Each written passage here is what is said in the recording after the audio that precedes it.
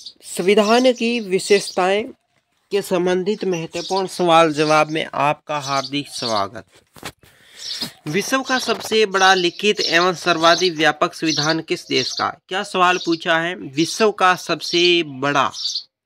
ठीक है, विश्व का सबसे बड़ा पूछा है। लिखित एवं सर्वाधिक व्यापक संविधान दोस्तों किस देश का है? सही जवाब होगा भारत देश का। अगला सवाल है, भारत के संविधान में भारत को माना जाता है, भारत को दोस्तों भारतीय संविधान सभा में क्या माना जाता है? राज्यों का एक संघ बताया गया है या माना गया है। भारत एक धर्मनिरपेक्ष देश है, इसका क्या दोस्तों तात्पर्य है? भारत एक धर्मनिरपेक्ष देश है, एक धर्मनिरपेक्ष देश है। इसका तात्पर्य क्या है? इसका तात्पर्य होता है कि उसका राज्य स्तर पर कोई भी धर्म नहीं है। राज्य स्तर पर उसका कोई धर्म नहीं है।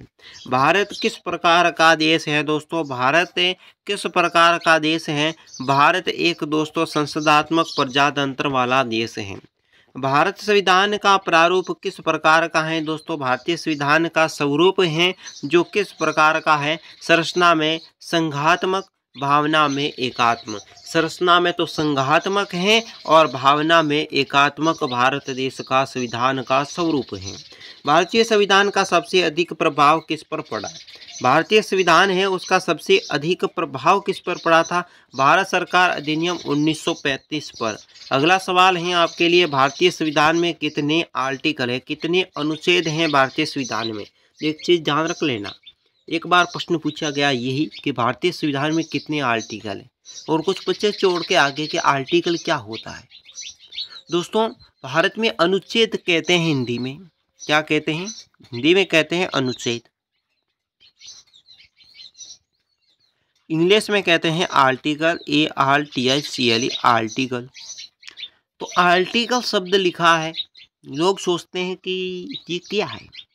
दोस्तों, इंग्लिश में आर्टिकल कहते हैं, हिंदी में अनुच्छेद कहते हैं। तो इसमें 350 से भी अधिक भारतीय संविधान में आर्टिकल्स हैं, अनुच्छेद हैं।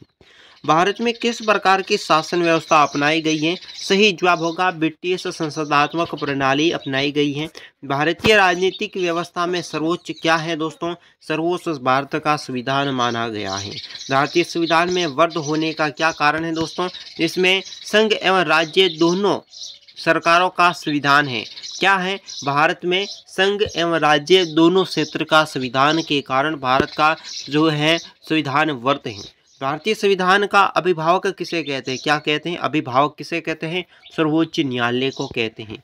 भारत में वयस्क मताधिकार की उम्र पूछी है। उम्र दोस्तों सीमा क्या है? भारत में वयस्क मताधिकार की उम्र सीमा दोस्तों है अठारह वर्ष। अगला सवाल है, भारतीय संघीय व्यवस्था एक विशेषता है। भारतीय संघीय व्यवस्था की क्या विशेषता है दोस्तों? यह है संविधान की सर्वोच्चता। अगला सवाल है भारत में संविधान में संघीय शब्द की जगह से किन शब्दों का स्थान है दोस्तों? राज्यों का एक संघ है, ये शब्द हैं। भारतीय संविधान की कौन सी सूचियाँ हैं दोस्तों? सूचियाँ तीन हैं। भारतीय संविधान, भारत का संविधान अपना प्राधिकरण किससे प्राप्त करता है? भारत की जनता से प्राप्त करता है। अगला सवाल, भारत एक वैध प्रभु सत्ता निहित है। भारत में एक वैध प्रभु सत्ता निहित है, ये कहाँ पर है? ये संविधान में निहित है। भारतीय संविधान की संरचना किससे प्रकार की है दोस्तों, ये एक एकात्मक कुछ कठोर है। कुछ है एकात्मक और कुछ क्या है कठोर है। लिखित संविधान की अवधारणा ने सर्वप्रथम कहाँ पर जन्म लिया था? लिखित संविधान विश्व में सबसे पहले किस देश का बना था?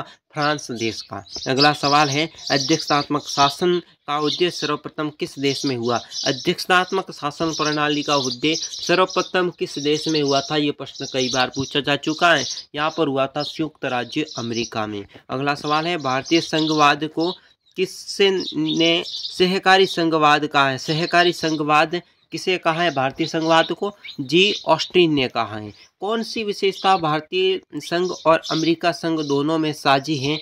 दोस्तों, भारतीय संविधान की व्याख्या के लिए सर्वोच्च संघीय उच्चतम न्यायालय है दोस्तों। ये भारत में भी है और अमेरिका में भी है। भारत में सर्वोच्च माना जाता है। संविधान को दोस्तों सर्वोच्च माना जाता है। भारतीय संविधान को या भारतीय संविधान का आप किस प्रकार वर्णन करेंगे दोस्तों? हम वर्णन इस प्रकार करेंगे कि विश्व की सबसे विस्तृत संविधान में से एक भारत का संविधान है। भारतीय संविधान की मान्यता प्रदान करता है। भारत का संविधान क्या मान्यता प्रदान करता है? भारत केवल धर्म धार्मिक अल्पसंख्यकों को दोस्तों मान्यता प्रदान करता है। भारतीय संविधान में स्पष्ट रूप से लिखा गया है। दोस्तों, आज की वीडियो में बस इतना ही। चैनल को सब्सक्राइब, वीडियो को लाइक दोस्तों के साथ शेयर कर लें। और कमेंट बॉक्स में बताएँ आपको वीडियो कैसा लगा।